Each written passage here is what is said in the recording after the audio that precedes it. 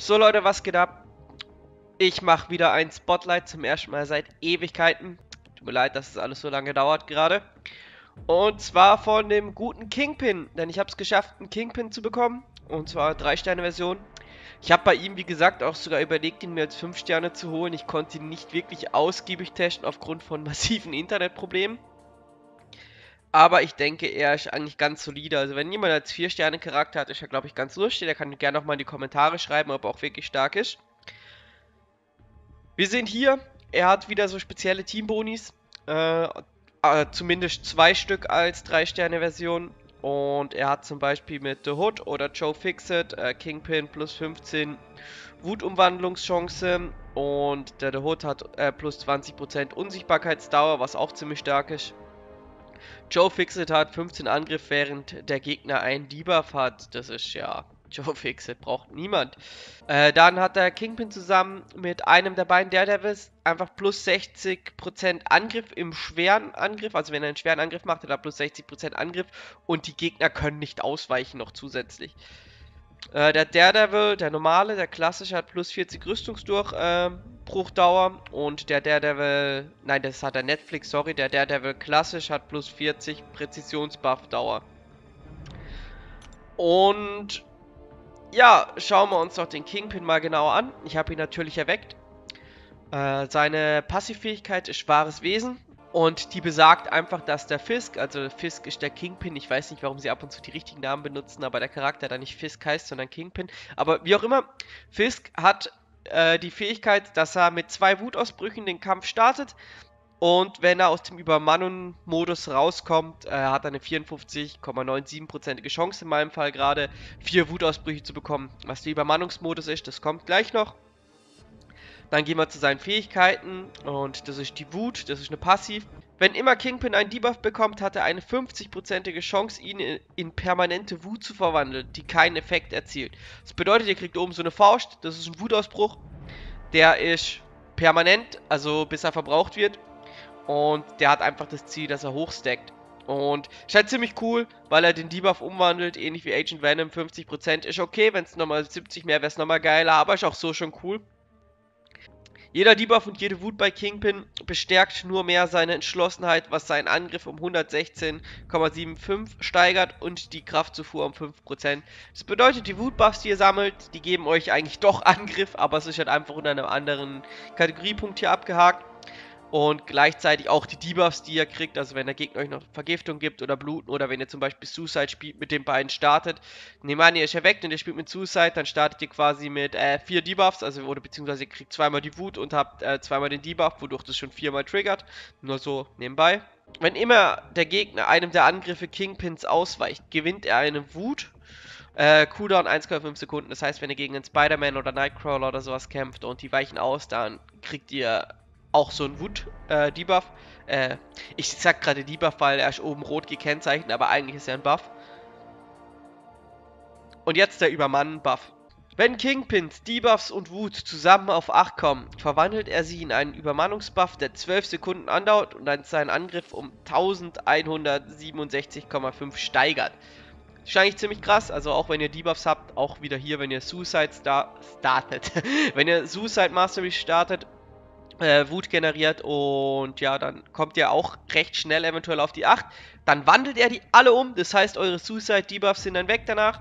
Und er kriegt halt für 12 Sekunden 1167 Angriffsplus und diese 1167 ist eigentlich ein ziemlich krasser Wert. Weil hier links im bisschen im helleren Bereich seht ihr auch, ich habe gerade mit ihm aktuell 480 Angriff. Das heißt, er kriegt mehr als das Doppelte seiner Angriffskraft nochmal dazu. Also er verdreifacht, also er mehr als verdreifacht seinen Angriff. Ziemlich krass. Und während er in diesem Modus ist, werden seine Superkräfte unabwehrbar und er kann keine Wut mehr bekommen. Und eben wenn er aus diesem Übermannungsmodus rauskommt und er ist ja weg, dann habt ihr eine Chance von eben circa bei mir jetzt 50%, wieder vier Wutbuffs zu kriegen. Das heißt, ihr könnt sehr schnell wieder, wieder in diesen Modus reinkommen. Dann schwere Angriffe.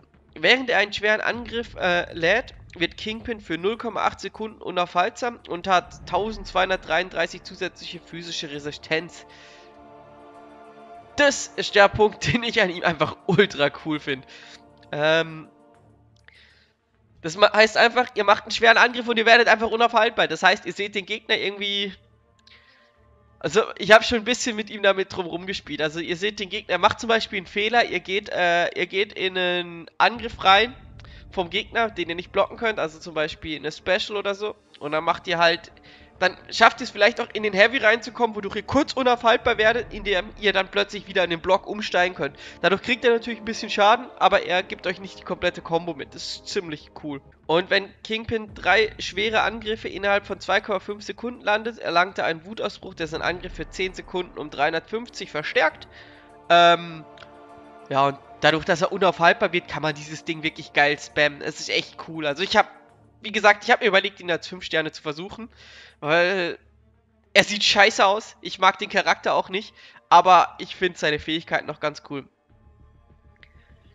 Ähm, und während der Kingpin einen Wutausbruchsbuff hat, kann er nicht unaufhaltsam werden. Also das heißt, wenn er quasi diese Wutausbrüche hier bekommt, äh, also diesen von diesen drei schweren Angriffen, kann er danach nicht mehr unaufhaltbar werden. Das heißt eben, dieser Buff heißt quasi für 10 Sekunden könnt ihr nicht unaufhaltbar werden was quasi verhindern, dass hier einfach nur noch Heavy, Heavy, Heavy, Heavy macht. Dann Superangriff 1. Infiziert den Gegner mit schwarzem ISO 8, was über 12 Sekunden einen Direktschaden von 700,5 bewirkt. Gegner auf ähm, schwarzen ISO 8 erleiden 45% verringerte Defensivfähigkeiten zur Genauigkeit und einen um diesen Wert reduzierten Angriff. Also ihr Gegner macht halt weniger Schaden einfach und seine Defensivfähigkeiten haben halt verringerte, ja, sind halt auch verringert, prozentual. 45% ist nicht so wenig, ganz okay. Nichts, worauf man geht und sagt, dadurch ist Charakter OP, aber schöner Nebeneffekt natürlich. Superkraft 2, 100% Chance, einen unaufhaltbaren Buff zu bekommen, der für 6,5 Sekunden anhält, was enorm lang ist, Leute. 6,5 Sekunden ist ewig, gerade wenn ihr gegen ihn spielt. Während er unaufhaltsam ist, bringt jeder Treffer, den Kingpin einsteckt, eine hundertprozentige Chance, einmal Wut zu gewähren.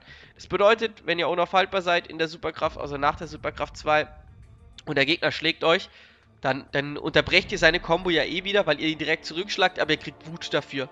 Was auch noch interessant sein kann, wenn ihr irgendwie gerade auf 7 Wutausbrüchen seid oder 7 Wutausbrüchen und Debuffs zusammen und ihr denkt jetzt, okay, äh, ich will jetzt gerade noch die 8 kriegen, dann kriege ich nämlich den Übermannsmodus gleichzeitig noch aktiv und dann nimmt ihr halt einfach einen ins Gesicht und danach greift ihr zurück an.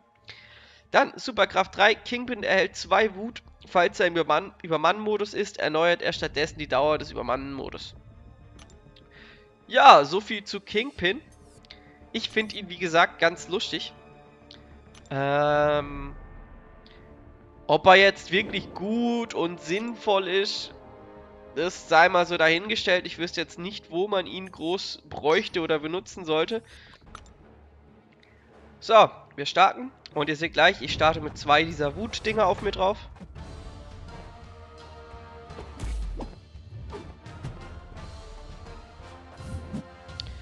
Und ein Problem, was ich jetzt habe, also ich könnte natürlich ähm, Debuffs und solche Späße könnte ich äh, umwandeln. Mit einer 50%igen Chance. Hat es hier bei der Blutung nicht geklappt. Schade.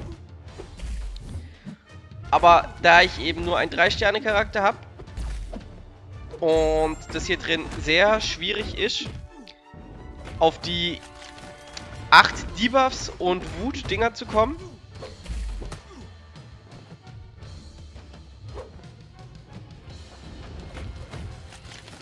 müssen wir Vorliebe mit Superkraft 3 nehmen, weil durch Superkraft 3 kriegen wir zwei Wutausbrüche. Das heißt, wir machen jetzt insgesamt zwei, äh, dreimal Superkraft äh, 3. Danach kommen wir in den Übermannsmodus, um euch das zu zeigen. Wir müssen gucken, dass wir Superkraft 1 möglichst baiten, weil irgendwie wir, wir nehmen recht viel Schaden durch den Block.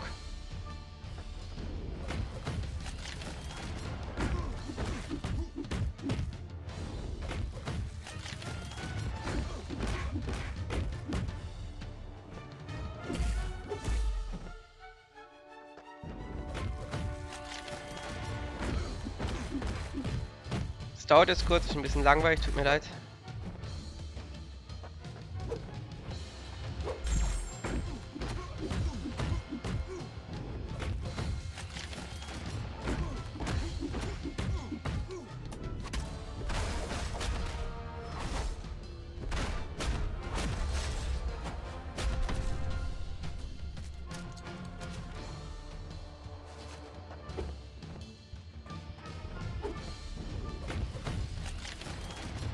Seht, wir haben schon sechs dieser Wutteile. Schluss werden wir auch probieren, natürlich noch äh, Debuffs umzuwandeln, aber da die Wahrscheinlichkeit sehr groß ist, dass ich dabei sterbe, schiebe ich das mal auf den Schluss. Weil wir natürlich nur einen 3-Sterne-Kingpin haben.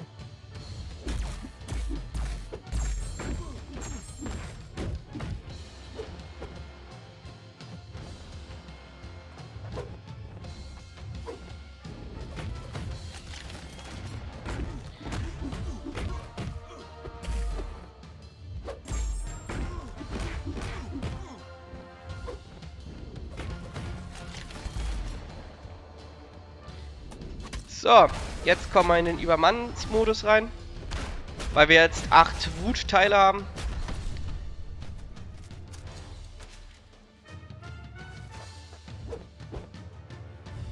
Ihr seht es. Jetzt haben wir natürlich äh, deutlich mehr Schaden. Schade. So, zeigen wir euch noch die anderen Superkräfte. Superkraft 1, das ist der Debuff, was die Abwehr ähm, und den Angriff runternimmt um 45%. Und halt noch ein bisschen Schaden über Zeit macht, aber das ist nicht so äh, der Rede wert. Aber noch Superkraft 2.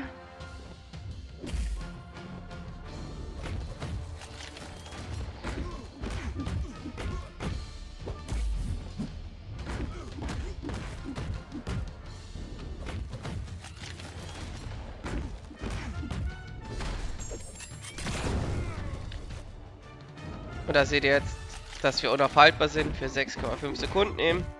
Sehr lange Zeit. Bringt uns jetzt nichts, wenn wir vom Level her so weit hinter dem gegnerischen Charakter sind. Ja, und dann zeige ich euch jetzt noch die Heavies. Und ihr seht auch hier, ich werde unaufhaltbar. Ja. Ähm, hat er mich erwischt. Kann ich nichts machen. Unaufhaltbar. Äh, hat, hat mich, trotz, äh, hat mich trotzdem aufgehalten. Ähm, ich denke aber, wir haben so gut wie alles gesehen vom Kingpin. Kingpin überzeugt eher, wenn er natürlich gegen irgendetwas kämpft, was viele Debuffs wirft. Oder halt, ja, irgendwo, wo er viele Sachen umwandeln kann. Wo dieses ganze Zeug eigentlich zum Tragen kommt. Kämpfen mal kurz gegen den Iceman. Einfach um zu gucken, ob wir den Kälteeinbruch am Anfang umwandeln in permanenten Buff. Ja, hat geklappt. Da seht ihr, also das mit dem Umwandeln der Debuffs.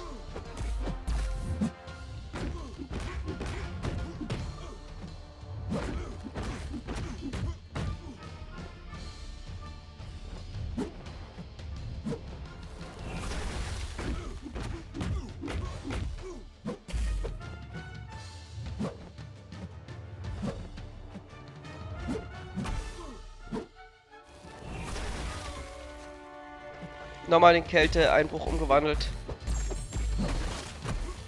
Aber jetzt werden wir trotzdem sterben.